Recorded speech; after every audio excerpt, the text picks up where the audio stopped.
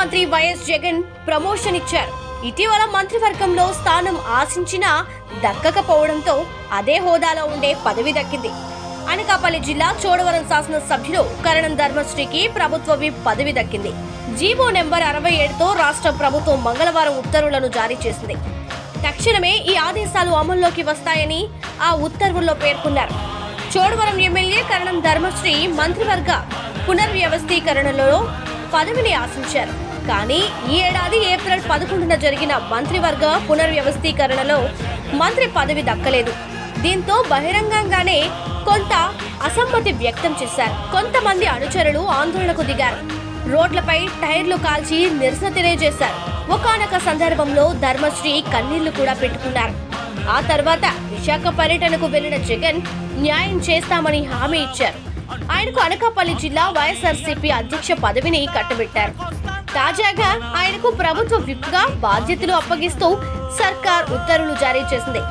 మొత్తానికి ధర్మశ్రీకి అటు జిల్లా పార్టీ బాధ్యతలు ఇటు విప్ పదవులతో డబుల్ ప్రమోషన్ దక్కిందనే చెప్పాలి.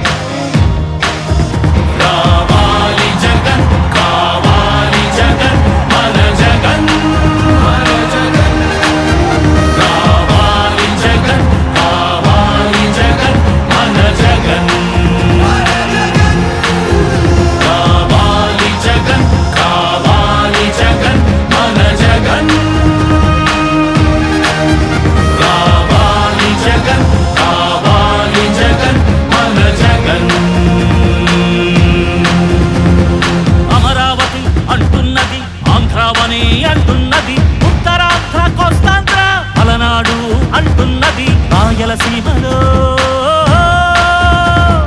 గడప గడప అంటున్నది గడప గడప అంటున్నది. మళ్ళొకసారి ఇంకొకసారి పెద్దాయన రాజన్న పాలన.